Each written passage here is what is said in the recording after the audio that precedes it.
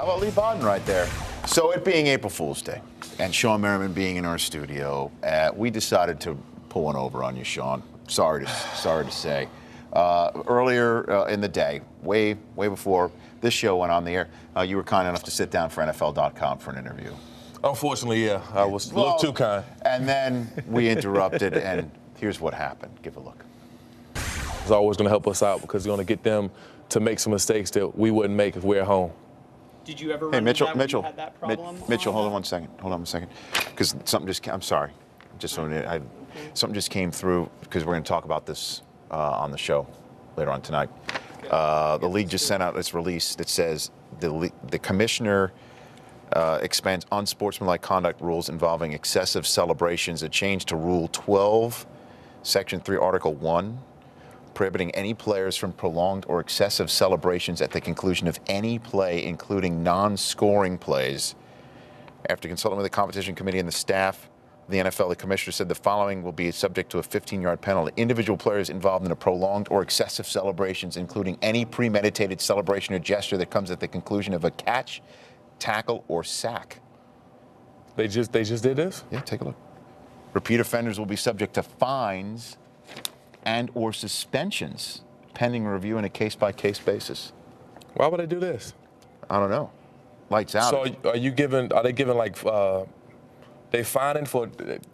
if I guess the lights out sack dance. So they gonna fine me this shit for that? on a case-by-case basis. I mean, how well do you know? How well do you know the do league? you go like five yards? But but how I do it, I go five yards past like you know after I get a sack, I go five yards away, and then I guess. I mean, I don't know. that's ridiculous, man. They're getting too serious with that. Take a look. Have they ever said anything to you No, about the I never, I never even been flagged for it. I never even been flagged for it one time. That's- and I don't, I don't even do it close to the quarterback or the players, whatever. I mean, they should be they should be finding other players for doing my dance. That's what they should be. Like when the Patriots did it, they should get fined. Oh, and you mean at the? Who else is doing your dance? I mean, you know, other players, I mean, other guys have done it. You know, Mm. Chad's done it. Some other people's done it. They should be one getting fined. When they do it as a team, that that should get a fine. I don't know why they're doing it like this. That's that's ridiculous, man. Well, That's crazy. that's why I don't mean to interrupt what you're doing, but you know, I don't know. I mean, sa- maybe they threw the word in sack just because of you. I don't know. But who? I mean, it's like other guys. uh, They going. That's that's crazy. I mean, I know they. There's other guys have sack dances in the league. Right. I am. I'm not the only one.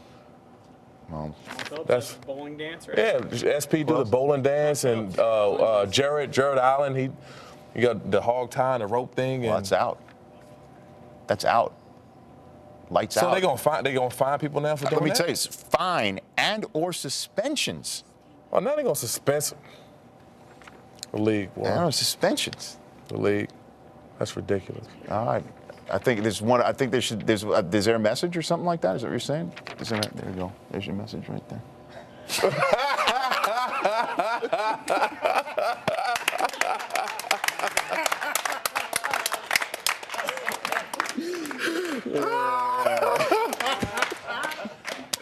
Payback, I'm telling you. Everybody on this set, I promise you, payback. Everybody.